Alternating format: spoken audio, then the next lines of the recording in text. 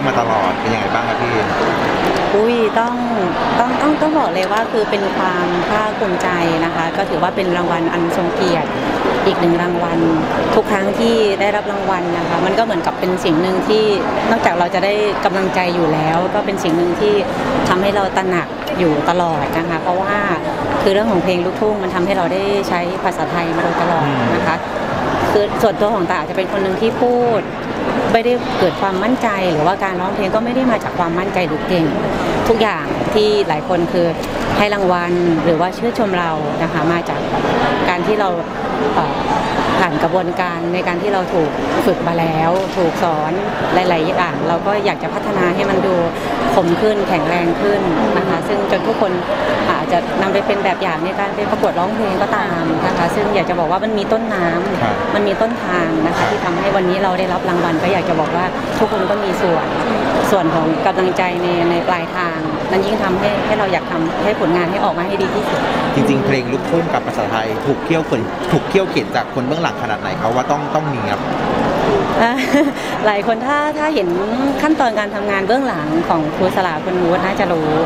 ว่าไม่เคยปล่อยผ่านอะไรง่าย ๆ เลยค่ะ บางคนคือถ้าไปรายการแบบผ่านผ่านผ่านนี้ไม่ไม่ได้ผ่านง่ายครับๆสี่ห้าชั่วโมงขึ้นไปต่อหนึ่งเพลงแน่นอนสำหรับสายอรไทยเก็บทุกรายละเอียดเก็บทุกรายละเอียดจริงๆค่ะ แล้วเราก็เป็นคนหนึ่งที่ชอบจดนะคะ แล้วก็ในกระดาษนี่คือมันมีเนื้อเพลงมาอย่างสะอาด แต่พอร้องเพลงเสร็จสี่ห้าชั่วโมง มันจะมองไม่เห็นเนื้อเพลงเลย จะเห็นทุกคำว่าครูบอกอะไรบ้างแล้วก็จะจดลงไปแล้วมันก็เราก็จะทำให้เราจำได้ขึ้นใจมากขึ้นว่าครั้งหน้าถ้าเราจะทำงานเพลง เราจะเห็นว่าอันเนี้ยมันอาจจะมีความใกล้เคียงกัน แล้วก็จะจำได้มากขึ้นเมื่อ กี้ที่บอกว่าคือพ่อลูกทุ่งต้องเป็นตัวอย่างให้กับคนฟังแล้วก็นักร้องรุ่นหลังๆด้วยถูกไหมครับพี่ก็ถือว่ามีส่วนมากนะคะ เพราะว่าคืออย่างความบันเทิงมันก็มีสิ่งหนึ่งที่แน่นอนเราจะต้องได้ฟังเพลงที่เกี่ยวกับเพลงจะเป็นแนวอีสาน แนวภาคกลาง แนวภาคใต้ภาคใดก็ตามนะคะมันคือมันนำทางด้วยภาษาไทยอยู่แล้วนะคะ แตกต่างกันที่ช่วงทำนองเท่านั้นแล้วก็ประเภทของเพลงเท่านั้นเองค่ะอะตอนนี้ฤดูฝนแล้วครับพี่งานเพลงเป็นไงบ้างคะงานคอนเสิร์ตงานเพลงมาเรื่อยๆ ค่ะ ก็ใกล้จะปล่อยซิงเกิลใหม่ล่าสุดแล้วนะคะ เร็วๆนี้ฝากทุกคนด้วยคือพรุ่งนี้ค่ะพรุ่งนี้อ๋อเหรอเร็วมากพรุ่งนี้ค่ะ เป็นซิงเกิลใหม่ล่าสุดแล้วชื่อนะเพลงคะว่าอะบอกได้หรือยังไม่รู้บอกได้ไหมบอกได้แล้วแหละอ่าพูดเลยค่ะลืมอาไลกลุ่มนะคะ ก็ถือว่าเป็นสีสันใหม่นะคะสำหรับชีวิตของไทยด้วยในเส้นทางเพลงลูกทุ่งด้วย แล้วก็อยากให้ทุกคนมาชาเลนจ์ด้วยกันเยอะๆ แล้วก็ฟังกันเยอะๆ แล้วก็ส่งกำลังใจกันเข้ามาเยอะๆเหมือนเพลงนี้จะได้เห็นพี่ต่ายเต้นใช่ไหมใช่ ไม่รู้ว่าจะออกมาในแนวไหนนะคะ แต่ว่าคือคือคืออยากจะใช้คำว่าเพลงเต้นแบบตายนะคะ เพราะว่าเราไม่ใช่สายแดนซ์ใช้เขาแบบต่ายแบบต่ายคือก็จะเต้นได้ในในศักยภาพที่ต่ายมีอ่าแล้วก็ ซ้อมอย่างเต็มที่คืออัดวิดีโอไว้แล้วเราก็ไปซ้อมด้วยตัวเองอืมแล้วก็คิดว่ามั่นใจมากที่สุดแต่ว่าสุดท้ายแล้วอะเราจะตั้งคำถามกับครูตลอดว่าทำไมพี่ต่ายเต้นไม่เหมือนน้องๆแดนเซอร์ตลอดเลยแต่ว่าสนุกมากนะคะ สนุกมากวันถ่ายทำก็อยากจะให้ทุกคนฝึกเต้นกันเยอะ ๆนะคะ โดยเฉพาะท่า ท่าอ่าท่อนฮุกนะคะอ่าอยากให้มา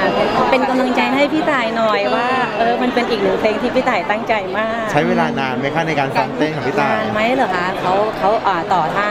ได้ได้วันละท่อนเองเนาะครับได้วันละท่อนก็เจอครูอะหลายครั้งอยู่แล้วก็พี่แต่ก็อัดวิดีโอมาแล้วก็ซ้อมด้วยตัวเองประมาณ 20 กว่าวันอ่าซ้อมทุกวันทุกวันทุกวันทุกวันแล้วก็อัดอัดให้เขาด้วยให้ทีมงานด้วยแล้วก็มารวบรวมกัน ก็ถือว่าอาจจะชั่วโมงบินไม่เท่ากับน้องๆหลาย ๆ คนแต่ว่าอ่า รางวัลของความ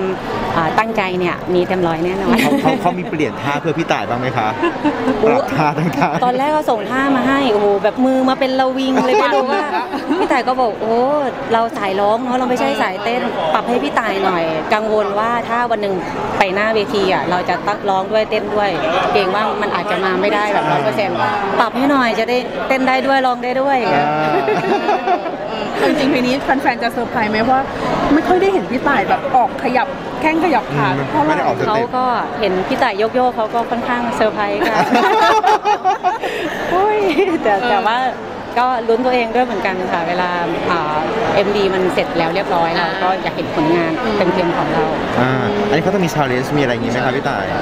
เราก็พยายามอยากให้ทุกคนได้มาร่วมชาเลนจ์กันอ่านนะคะแล้วก็ส่งข่าวทุกคนอยู่นะคะ ซึ่งเดี๋ยววันที่ปล่อย MV ไปจะให้ทุกคนได้ร่วมสนุกกันแน่นอนพี่ตายต้องเต้นให้ดูก่อนนะสิมาถึงจะรู้ว่าโอ้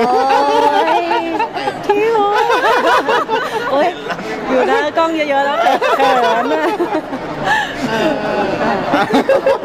ทำอะไรทำอะไรไม่ถูกแฟนคลับเขาแซวกันว่าที่พี่ต่ายเต้นค่ะเป็นสิ่งมหัศจรรย์ที่แปลกของโลกอะไรเงี้ย มหัศจรรย์ที่แปดเลยแหละค่ะใช่เขาบอกอย่างนี้แสดงว่ามันแปลกจริงนะเนี่ยโอเคค่ะก็ก็ก็เต็มที่อะเต็มที่ถ้าหลาย ๆ คนคือ อุ้ยมันเป็นความแปลกใหม่หรือว่าทุกคนเห็นแล้วมันรู้สึกว้าว แล้วก็เราก็ดีใจเนาะจะได้พัฒนาศักยภาพที่ที่เราเรามีอันอาจจะแบบน้อยมากๆเนี่ยให้มั่นใจมากขึ้น โอกาสหน้าถ้ามันมีเพลงเร็วเราก็อาจจะมั่นใจมากกว่านี้